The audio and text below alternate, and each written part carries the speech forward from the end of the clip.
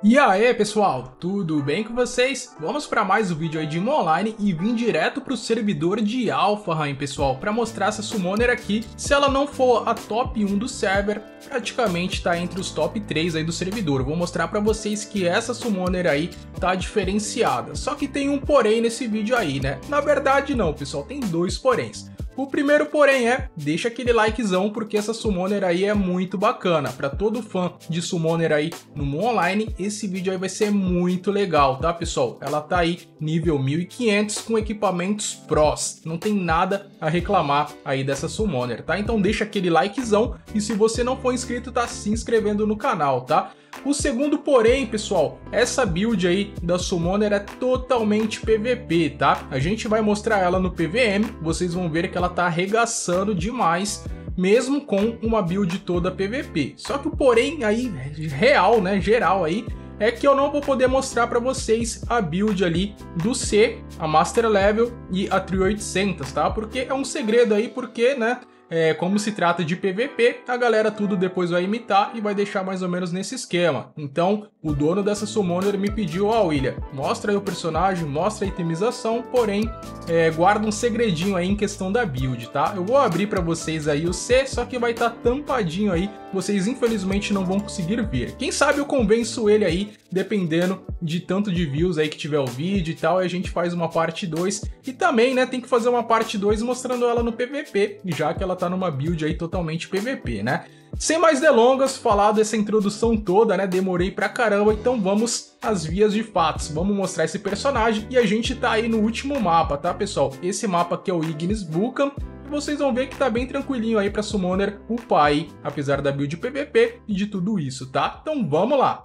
Bom, pessoal, então enquanto a gente vai falar aí sobre os itens, como é que tá o personagem, nada melhor do que a gente ir lá pro spot, né, e ver ela batendo enquanto isso, tá? Então vamos colocar aqui pro bot e deixando seguir aí automaticamente, como é o último mapa do game, não vai ter ninguém aí atrapalhando, né? É, não vai ter problema de estar o spot cheio, com KS, entre outras coisinhas desse tipo, tá?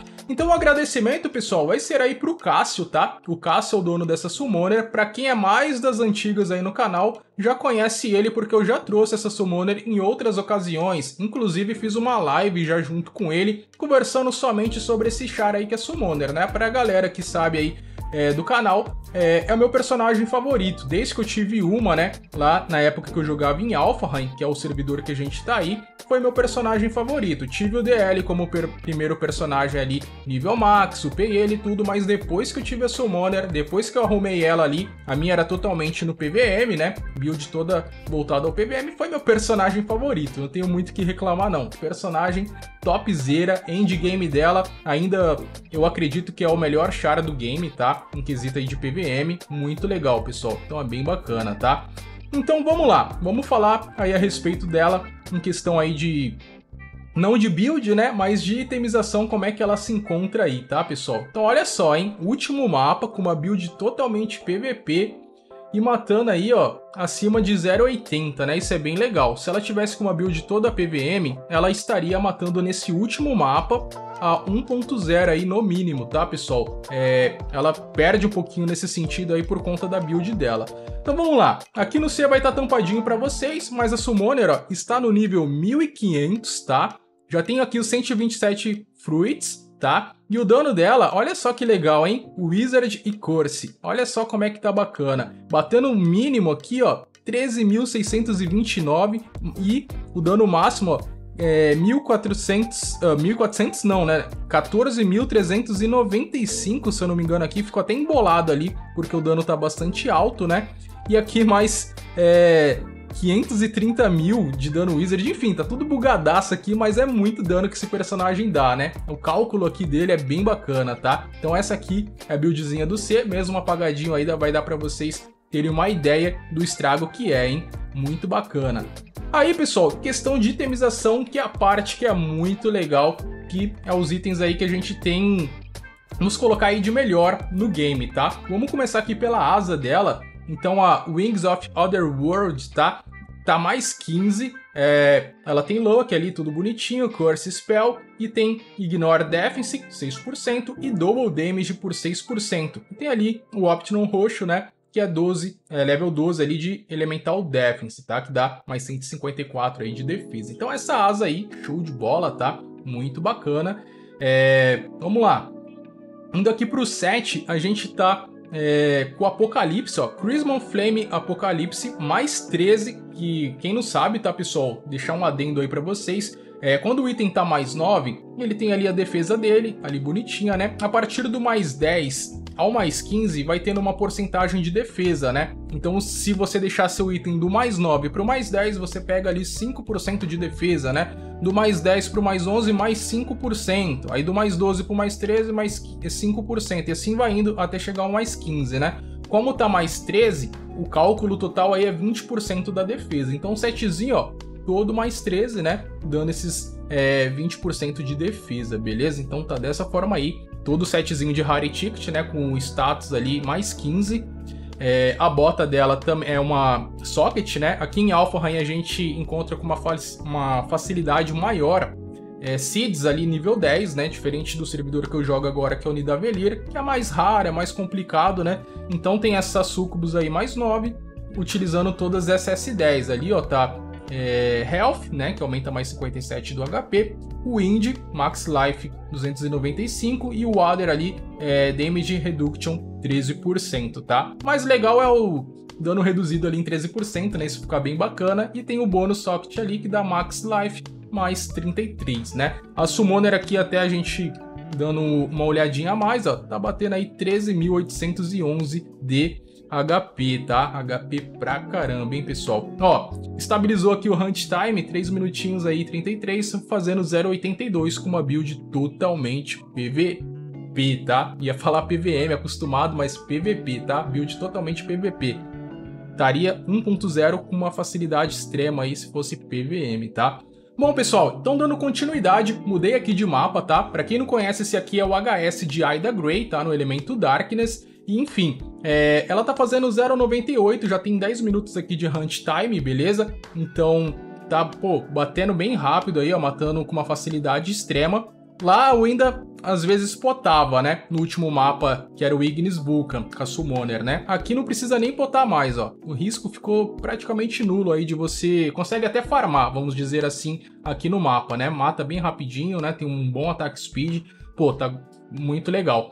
Então, dando continuidade aí na, na, itemização, pessoal, ela tá com o par de armas. Vocês vão ver que não é a última arma aí do game, né, que a gente tem para criar, né, craftar, mas eu vou explicar para vocês o porquê, tá? Tem um porquê aí muito legal nesse quesito aí dela não tá com as armas brilhantes, tá? Que são as últimas armas atualmente. Então ela se encontra aqui, pessoal, com a Stick Silver Heart, tá? Ela tá mais 15 e ela tem aqui também um book Silver Heart mais 15, né? Poderia upar, por exemplo, aí pro Manticore e depois upar ali pro Brilliant, tá? E por que que o Cássio aí, o dono da Summoner, não fez isso? Olha só que legal, pessoal.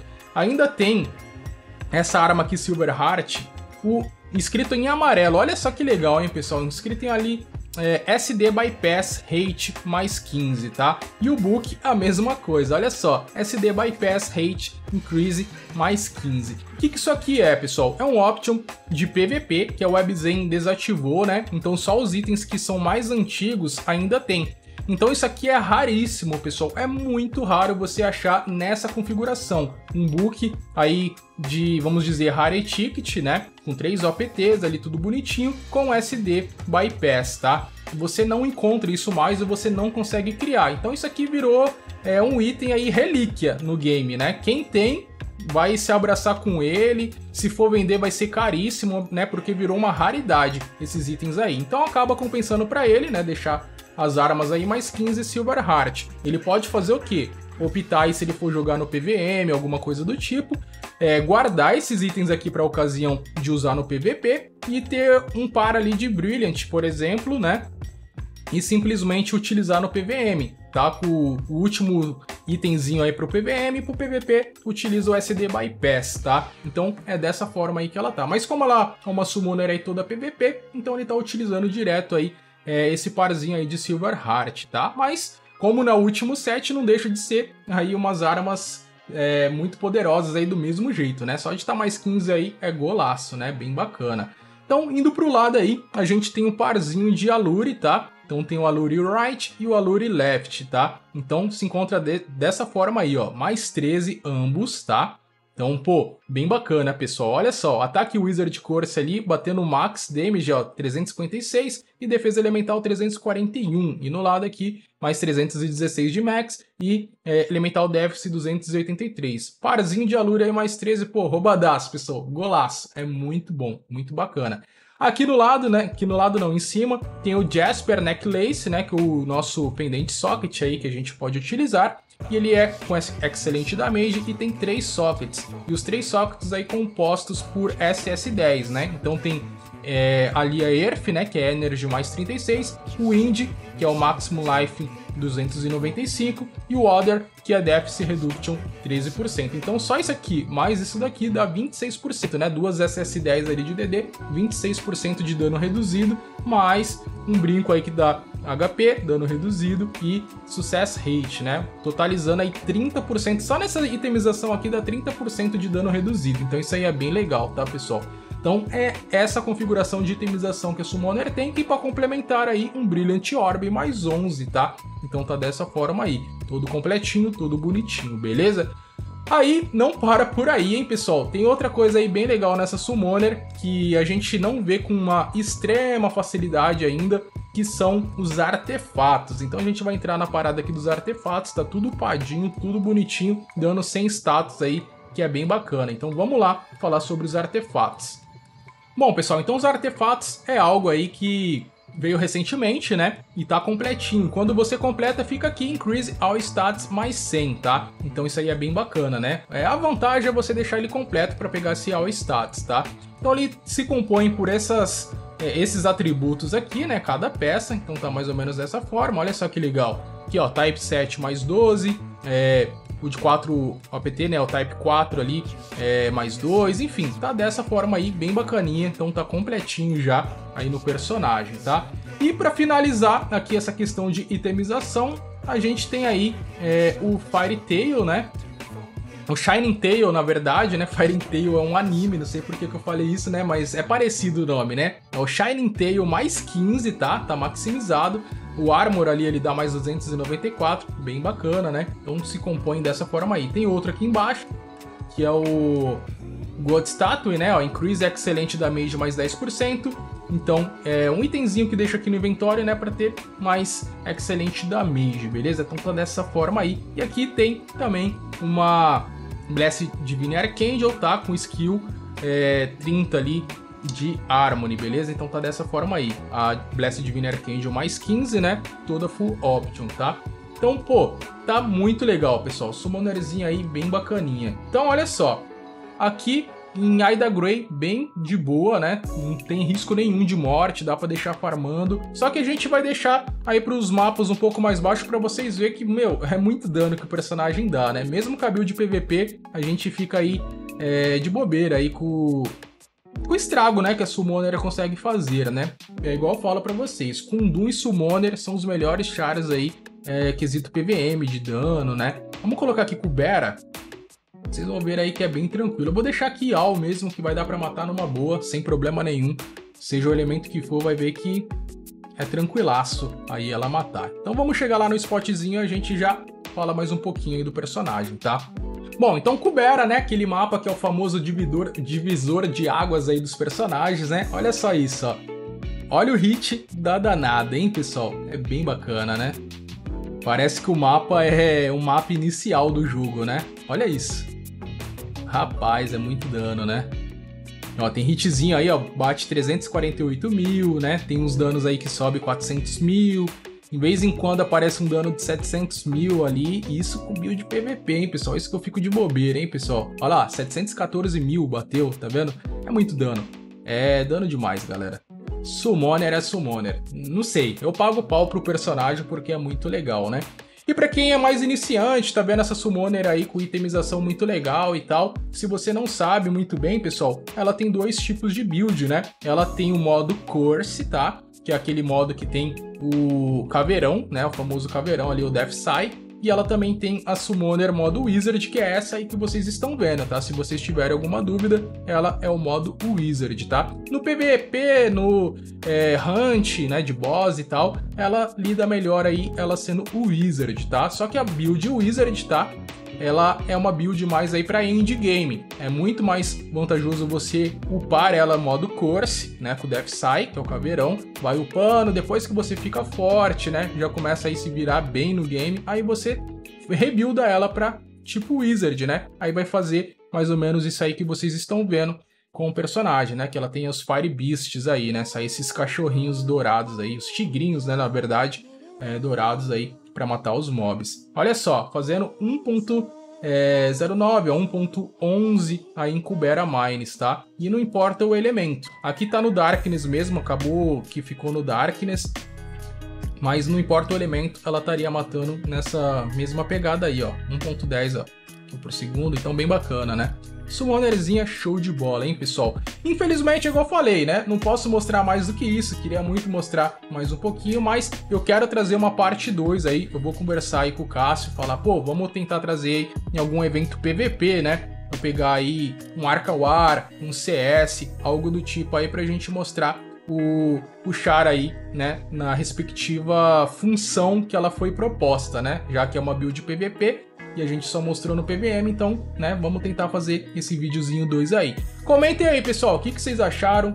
Curtem Summoner? Pagam um pau aí pro personagem também, de dar muito dano? Deixa aí nos comentários, vamos trocar uma ideia, hein, pessoal? Então, até a próxima, falou, fui!